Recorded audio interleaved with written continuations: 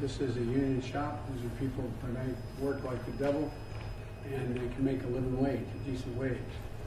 But 300,000 Pennsylvanians lost jobs. 300,000. And uh, in Delaware County alone, just in 2020, 19,000. And, uh, and I'm not being solicitous when I say, these are two of the finest congressmen in the United States Congress in terms of getting things done.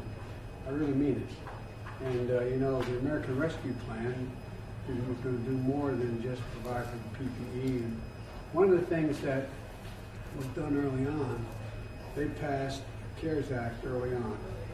And what we did, what they did, was they provided for an inspector general, an outfit to look over where the money was going to make sure that it was spent properly.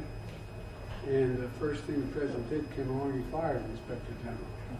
And we found out that only 40% of the people who, in fact, were small businesses got in on the deal.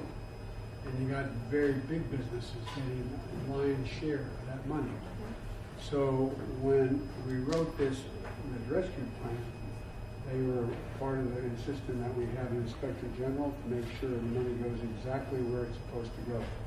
And so uh, we're in a position where it's going to bring immediate relief, $1,400 to 85% of the American public. I said yesterday, we're going to get 100 million shots in people's arms within the first 60 days of my administration and 100 million checks out. 100 million people are going to be getting, not a joke, a check for $1,400 which changed their lives.